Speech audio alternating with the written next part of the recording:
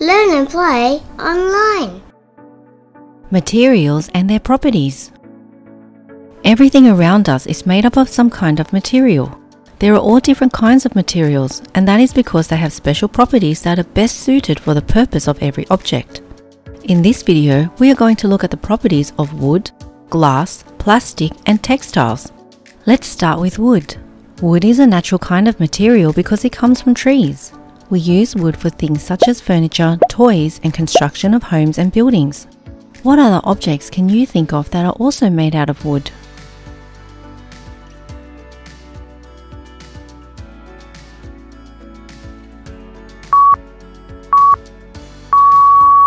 Some other things include kitchen utensils, photo frames, and instruments. These objects are made out of wood because of the properties that wood has to offer.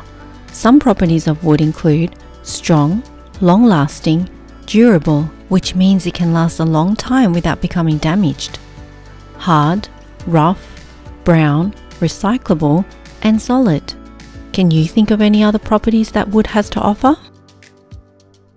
Take a look at these objects. What material do you think they are mainly made out of? If you said glass, you are correct. Glass is the predominant material used for these things such as windows, fish bowls, fish tanks, magnifying glasses, jars, hourglasses, shower screens, and baking dishes. Why do you think glass has been used to create objects such as these? Some of the properties that we came up with that make glass suitable for these objects include the following. Glass is transparent, which means it is see-through. It is heat resistant, which means it is not easily melted or burned. Glass is chemical resistant, which means that it is strong enough to resist chemicals. It is easy to clean, hard, shiny, easy to shape, fragile, which means it is easy to break, but it can also be very strong and durable when treated with other chemicals. What other properties of glass can you think of? Let's move on to the next type of material. Have a look at these objects. What material do you think they are mainly made out of? If you said plastic, you'd be correct. Why do you think plastic was the best type of material for these objects? Here are some of the properties that we came up with that make plastic a great material choice for things such as straws, pegs, toys, bags, and bottles. Plastic is easy to shape and colour, so it can be moulded to suit almost any purpose. Plastic can be lightweight, strong, durable. It can also be transparent, waterproof, shiny, and smooth. One huge downfall to plastic though is that it is not easy to recycle, which means a lot of the plastic that we produce is causing a lot of harm to many animals and the environment. What other properties of plastic can you think of?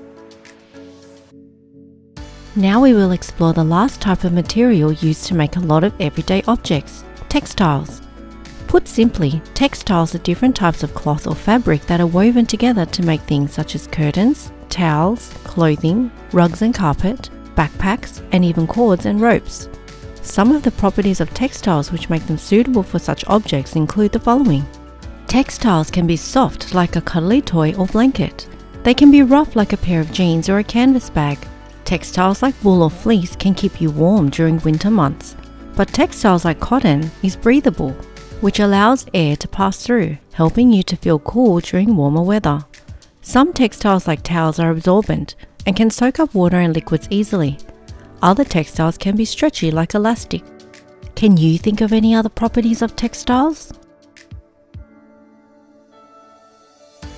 Thanks for watching. Please remember to subscribe for more videos.